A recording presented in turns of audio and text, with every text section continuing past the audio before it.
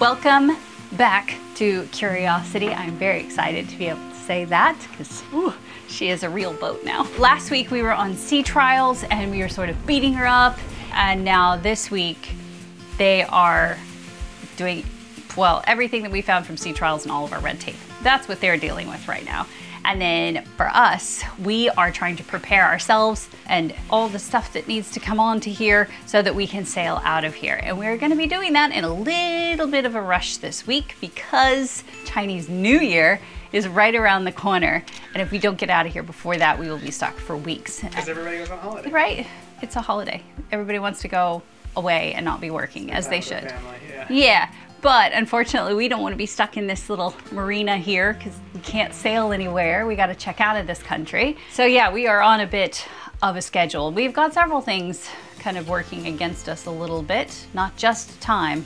Our first big challenge is weather. And looking at me right here, you think, damn, it looks like a beautiful day. We got blue sky, we got sun. Well, actually, this marina is very protected and just out there in the Taiwan Straits, it's blowing a gale and there's warnings everywhere. The waves are steep, it's shallow, the wind funnels through the Taiwan Straits, whips around the southern tip of Taiwan and just goes crazy, wind against wave. Massive tides today. It's like the, um, what do they call it? Uh, king tide, yeah. It's like a 27 foot swing in the tide today. Incredible. You don't want to be in rivers and you don't want to be on shallow banks in that kind of a swing. So we thought maybe we'd be able to leave this week. There's just no way. It's also freezing cold. It was 30 this morning and it's like a high of 45. So we definitely don't want to leave in a situation like that. So we're hoping, watching the weather, checking PredictWind all the time, there might be a weather window at the very end of next week. There's also some other really interesting things that we have just found out and we will show you those inside. All right. Welcome to the staging room, the room where we prep to prep. We've spent most of our day in this room, this very echoey, echo, echo, echoey room, organizing, and we've gotten it into sections because this is the way we think we're gonna load the boat up. We think it makes sense. we'll find out very soon. this is our prepare to prepare room. First section, probably third to largest, is the kitchen salon area. Because we're thinking if we unload it by spaces, we'll move in the most efficient and fast. Put it all away, you come back and then you grab the next section. So this, kitchen galley, moving over into bedding and towels. Yep, just bedding and towels. then we've got the like sporting goods. This is all of our dive gear. Then we've got like coolers, dry bags, things that will live probably in the cockpit or one of the aft lockers. Then we get into a slightly embarrassing section. This is all of my throw pillows for all the different spaces. It's, I may have gotten a few too many, but we won't talk about that. May. Maybe. Oh, uh, empty bags. Those just need to go back to load up our clothes. This is the second to largest pile, which I feel okay about because this is the boat specific stuff. All of our tools and extra line and our dock lines and cleaning supplies for the boat, but mostly just tools and very practical spares, water filters, fuel filters, all the basics. And then photography gear and video gear office computer vibes. That is not going on the boat. Medical kit, closet storage stuff, and then probably our biggest section, food. This is all of our dried goods that we are going to be taking with us. And this is also where things get real crazy. So it turns out we have to document all of this, as in item quantity, and weight. But this is the only thing we have to do that for the food, which makes absolutely no sense to me whatsoever. But you can't go trying to like figure out anything to do with bureaucracy or governments. It never makes any sense to me. That is what is required of us here. And I have had to, which does make sense to me, document things when I'm importing them, right? If we had to ship something to another island or to the boat, we had to document it in that way but never when we were leaving. Most of the time, people don't care what you leave with, but they definitely care what you come in with. Anyway, that was a new requirement, also one we just found out about, which is the other reason we've decided to separate everything out so we could do the daunting task of writing this all down. And speaking of this daunting task, I'm not done yet. This is just part of the dried goods. We need to make another run to the grocery store, which we will go do right now to add to this pile. So you get to see what provisioning and shopping in China looks like.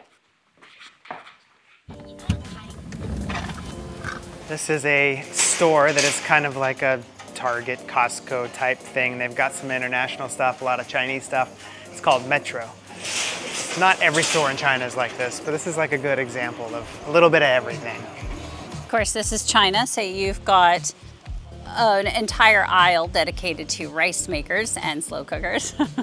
so what are we here for? I need spices, and they have kind of a good selection of that maybe some other dried goods. I'm not actually entirely sure. I'm gonna just walk the aisles and see what hits me. Although I do have a list, but it's mostly spices, balsamic vinegar, because they have that here. I've not been able to find that anywhere else. This is one of the only places with Tabasco. Beer? Some pesto. We have beer on the list? I do not have beer on the list, but Better maybe because that. I knew that we would buy it. Because they also have a good selection of international beer. Straya, Hoegaarden, several German beers always. I wish I had a small keg because that would be fun, or that. And then the nice ones, the Trappists, the Tins, the Gouldens, the Westmalle, the Chimay. Ooh, baby. Okay, let's get to it. Ooh! Oh, jeez. Ice cream maker. Fifteen dollars. I had I had one. I had one on the last boat, and I did use it to make ice cream. Come on, no. I should get the ice cream maker. So many tubs, all the tubs. What size of tub do you need? None of them have seals. These would fit in our forward storage compartments. Hmm. Hmm. Here we have air dried beef, spicy beef, stewed beef, exotic skewered beef. Translucent beef shreds. Beef in every way you'd like. Mm, that's right. They have A whole aisle of dried beefs. well, or dried meats. Like I think these are dried chicken feet. Yeah, they're they're real big into the chicken feet. But hey, they get their chicken feet imported from the U.S. because nobody in the U.S. will eat the chicken feet. So they buy them from us, and we buy the whole chicken. I mean, we don't personally, but I think it's interesting. At least they eat the whole animal, so you got to give them props for that. And then of course they have like every type of nut and dried fruit you could want. They love it. And they're peanuts for whatever crazy reason and they're cashews specifically. There's something different about them here. It's a slightly different variety or something. I don't know, but they're amazing. They taste so much better than the ones that we usually get. I don't know what it is, but they're awfully tasty. These say spiced peanut. Ooh, what does that mean? What kind of spice is on there? It looks like just a regular peanut. This is where my good old friend Google mm. Translate comes in handy. So I'm sure there are other translate apps out there, but Google Translate is the one I use, and you can download it for offline use, which is really helpful when you're in certain places. You can just take a photo. Five scented flower. I wonder if that's like a five spice. Look, I'm not saying it's always perfect. but you can get the general gist of things. Sometimes translations are hard. It's not so literal. Hmm. Okay, this is interesting. Honey nut O's, cocoa balls. These are all very similar to ones you find in America, but they're all slightly different. Nutrigrain, Froot Loops, Frosties. It's funny how so many things are similar, but they're like slightly different. Now, all the fresh fruit and veggie is all pretty standard. But the thing that's very different is all the grocery stores always have fish tanks. Because this is the way they do fresh seafood around here. Straight up. Not just your lobsters. Oysters, crabs, shellfish, cockles so many different types of clams and cockles. Fish packed on ice. Whoa. Long eel things, squids and octopuses. grams? Okay. Jason's waiting on me.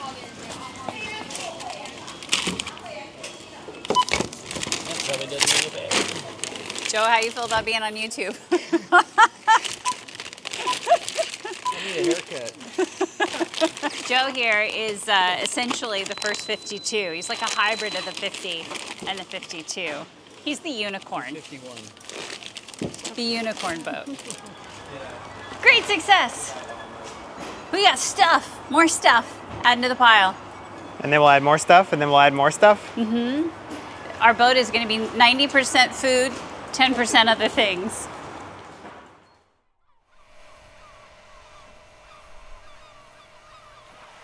All right, we are back on the boat trying to figure out a little random few things. Safety. Yeah, safety. We've got this really cool thing that's just this like throwable. It says, do not open, just throw.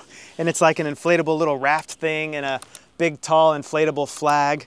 And that's what happens if somebody goes man overboard so we can see them easier. The whole thing deploys. It's kind of heavier than I expected it to be. I'm not even gonna guess at the weight because I'd probably get it wrong 10 pounds, but I'm not saying that.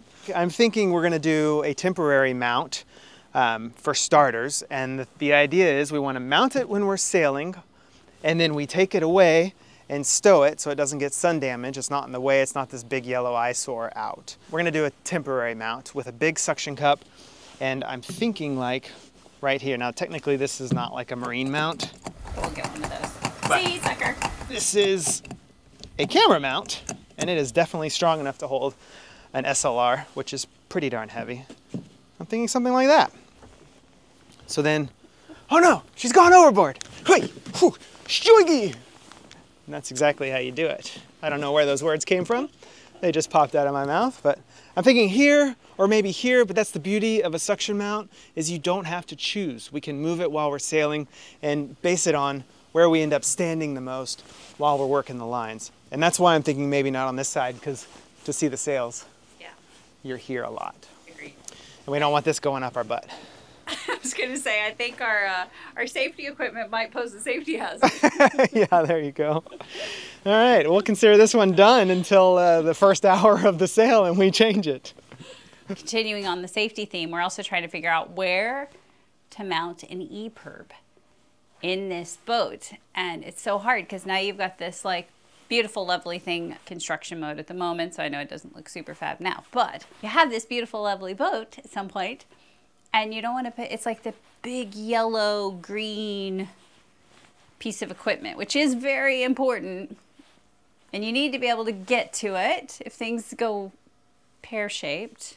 Can't put it in that corner because you wouldn't be able to get to it if you needed to activate it. Maybe, I don't know, like in that corner. then we put a plant and you try to hide it. uh, when you're at anchor, I don't know. Like, it's about this size. This is clearly not the EPIRB. This is my. We have it back at the apartment because we still have to register, it.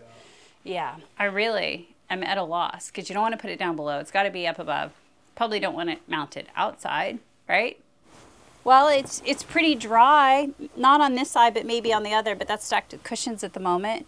But what if you, or like up here? Now I'm I'm polling the internet, which is never a good. No, seriously though. Any uh, thoughts on safety of where an EPIRB should or should not be mounted? Let me know. Happy to read it. Yeah. I don't know. I don't know.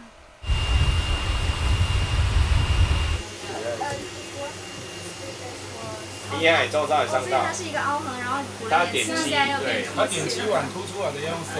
We are doing quality check here, inspection. We got different members of all different teams on the boat to uh, go through our list and make sure everything's checked off. So we're making progress. We're making progress. I think it's maybe four o'clock now, and we've been there since one. So there goes like three hours in like the blink of an eye, which was just going over a list of things and items and running the mousing line for Starlink and all the little like QC things. And I don't even know what my brain is reeling, but it's a long list of things to check over. Progress. I don't know where we stand right now. That's what going over that list was. So that's kind of the final okay, these are the things we've done, these are the things that are still left to do, so where does that leave us? And that's what we're waiting to find out. So they're gonna kind of process all of that information and then that should give us a pretty clear timeline for when can we finish this up and move on in. I'm ready for that. Well, that leaves us right here, back in this room.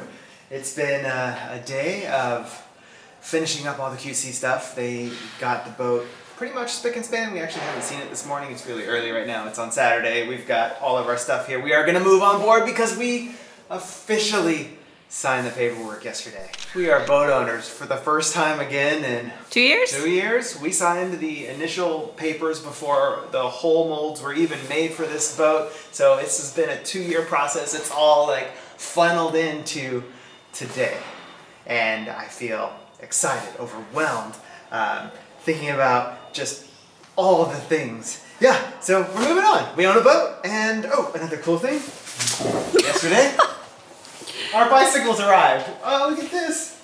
Carbon fiber, lightweight, e-bikes. Yes. 13 kg. I can't wait to tell you all about this. I can't wait to tell you about all about everything. I can't wait to tell you about all the food that we've got, all the things that are gonna go on the boat. It's a lot. Overwhelmed. Yeah, it should be. I'm excited. This is an exciting face. Yeah. I love the the bicycles is the one thing that you had to point Yeah. out. It's just because they're spanking new. Yeah, they're spinning. We were just going yesterday. I rode them for the first time. It's like, woo! yeah, they're pretty cool.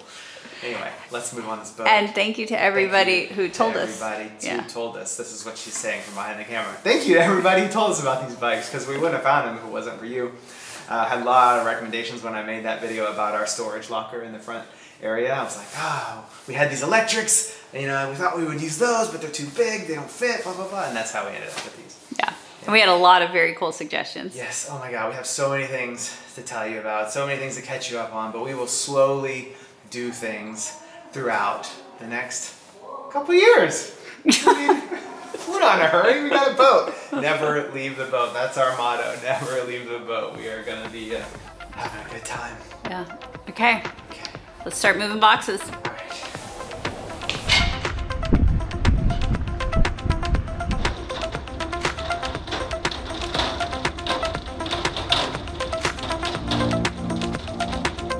Now we'll have to do like, I don't know, five or six trips like that. And then slowly move everything on the boat, unpack it, get rid of all the packaging.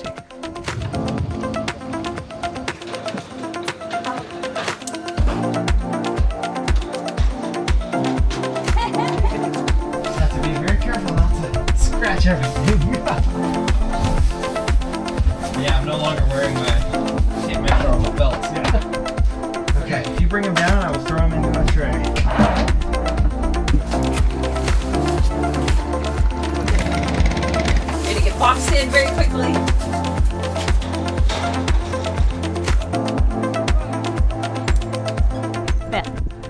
The bicycles couldn't have come at a better time. Back and forth, back and forth, back and forth.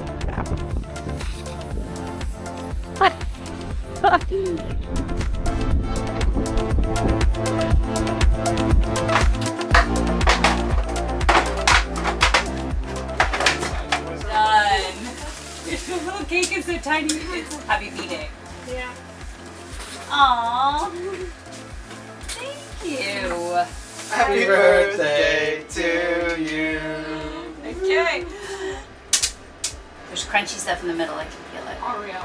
Oreo. Oreo and mango. Wow, that is a cake. Check it out. Whoa. Thank you, Anna. Yes, thank you, Anna. Thank you, HH. It is good. Mhm. Oddly enough, yes, we did officially move into the boat. It's our first day. And it is also my birthday, which Anna remembered. That was very sweet. Brought a cake. It was fabulous. And now we are just here all by our lonesome. We had loads of help. And now I've said we're good with the help because you can't help me anymore because I don't know where to put all of this stuff.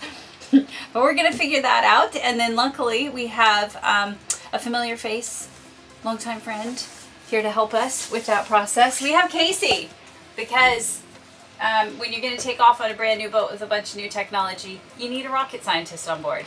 So we brought one. If you remember, we sailed with Casey on the trimaran. We were trying to remember the first time we met. We don't even remember. That's how long we've been talking. Somewhere in Florida. Somewhere in Florida. I think it was a meetup in LA. Oh, somewhere in LA. Could have been in LA. California. It was one of your Patreon meetups. Yeah. Also, uh. Sailor and hull number five is going to be their boat endless playtime. How do you feel about switching with us? Because we were number five. Oh, I'm happy to take number five. I'll let you guys figure everything out, and then I'll have a great trip. They needed a little bit more time. We wanted less time, so we swapped a long time ago. And Casey was thinking he was going to be sailing by now, but with the delays and everything else, got even more time than you originally planned on. But it works out. that's right. We're being the guinea pigs for sailing out of China, and they'll be the next ones, I think, after us. So, anyway, Casey's going to be joining us for the passage so that he can get some extra time on the boat before he takes delivery of his and help us unpack all of this crap. I don't know why he volunteered for all this, but he did volunteer. Trial run, learning from you guys. That's right. Oh, okay. I Back to work. Yeah, yeah. Okay. Well, we didn't make it very far. Got a bunch of crap put in places, but definitely not organized. And sun just set, day flew by. It's just poof, gone in an instant. We have like four or so days before we need to leave. We got a weather window coming up um, and Chinese New Year coming up. So we have to be gone before Friday, really, because it starts next Monday. And yeah, then we'd be here for like two or three more weeks before we're allowed to leave because everybody leaves and customs won't be there. We can't check out. So, ah, okay. Day one, moving aboard, complete. Well, I think my pre organization was helpful, but I don't think that it solved as many problems as I was hoping. In other words, it still doesn't tell me where I'm going to put everything once I have it here. And that is what we are facing now. And I think it's going to take, I got at least two solid days just to figure out where everything goes. It is, I don't even have that much stuff and it still is crazy. So anybody moving house right now, like proper house with real rooms and lots of stuff, I feel for oh, you. yeah. Because I don't even have that much stuff. And I'm not sure how I'm going to get this done and get out of here. But it's going to happen. We have help. We had lots of help today from the HH crew. They were actually fantastic. Loading up the truck, helping us bring. If we would have been left on our own to do all of that, we'd just still be moving boxes. We wouldn't have made nearly as much progress. So that was super helpful. So huge thanks to the team for like showing up and helping us do that because immensely helpful On a And- Saturday. on a Saturday. Yeah, I mean, it feels like a, it was very nice. They did not have to do that, and they sent all those guys to come and help us. So that was it was really nice. Um, so I do appreciate that. And then of course we have Casey here, who is like super invaluable right now because our heads are so scattered, and he's paying attention to so many things that we are not. So very helpful to have him here. And uh, yeah, we're gonna spend the next couple of days organizing. And then next time we see you, it's going to be like maybe a final provision run, and then we're out of here. Like first passage on this boat. That blows my mind. I just, you feel like you wait so long, and then all of a sudden it is here, and you feel. I don't even know what I feel. I don't know. I don't know. But anyway, thank you for being part of it. Uh, thank you for watching, whatever this is. I feel like chaos, mass chaos. So scattered. It's so real. It is. it is chaos. It is so real because this is chaos. Anyway, lots of love. Very exciting. I, oh, I just I can't wait for so many things. Just so many things. We have a lot to do before then. Anyway, lots of love. Bye. Dinner time. Birthday Yeah. dinner. Yeah, birthday dinner, and we've got to feed Casey, our loyal helper today. We owe him a nice dinner. It's your birthday. You don't owe me a dinner. I owe you a dinner. We owe you a birthday dinner.